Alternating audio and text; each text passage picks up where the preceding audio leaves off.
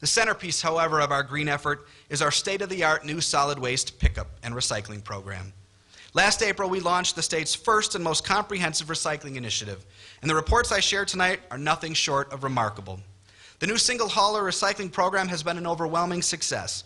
We've been recognized as environmental leaders on every local television channel, and our partners at RecycleBank have been featured on CNN, Fox, and even Oprah. The numbers are astounding. In 2008, this is pretty amazing. In 2008, we had 18% of our population regularly participating in recycling. With the new program, over 90% of our residents now recycle regularly. And in just 10 months, we have diverted over 5,200 tons of material from landfills to reuse. 5,200 tons is the equivalent of 10,400,000 pounds of trash, not in landfills today, but rather being reused.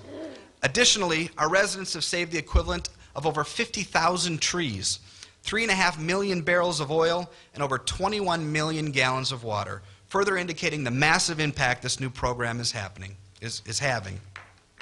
Yes.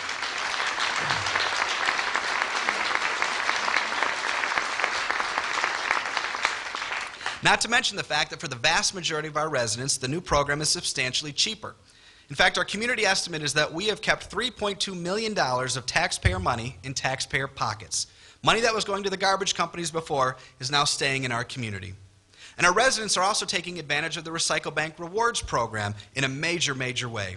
Thus far, over 33,000 rewards have been cashed in, saving our residents an additional $300,000 and driving customers to and through our local businesses. That means more than 110 residents are logging in each and every day to redeem their RecycleBank points. One locally owned company that is experiencing the RecycleBank phenomenon is Hollywood Market, where they average more than 500 redemptions monthly. Tom Welch, their vice president, had this to say about what customers are getting with their points from the program and why they, as a business, are so pleased to participate. Well, we have a gallon of milk, or a head of lettuce, or $5 off a $50 grocery bill.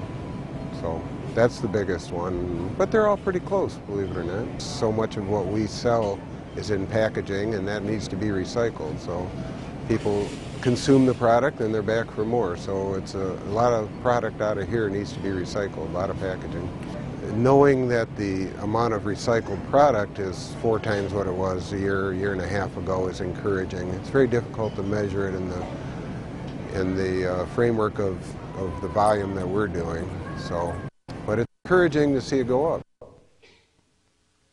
We are recycling more, our residents are saving more, and our local businesses are benefiting from the RecycleBank Rewards program. It's the rare example of a resident business government win win win.